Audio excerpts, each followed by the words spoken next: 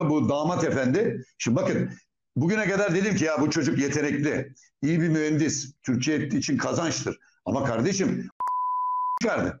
Yok efendim orada Amerikalılara peşkeş çekiliyormuş da bilmem neymiş de onlar CIA'nın adamı çıktılar da falan filan. Bir dakika arkadaş ya bir dakika. Senin kayınpederin Tayyip Erdoğan olmasa sen onları.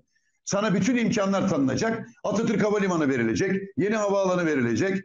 Bütün paralar verilecek. Ordu senin mallarını koşulsuz alacak. Yurt dışına e, bütün pazarlığı senin kayınpeder yapacak. Ondan sonra ben başarılı. Başarılı falan değilsin lan. Aynı şartları bana verseler ben de senin kadar başarılı olurum.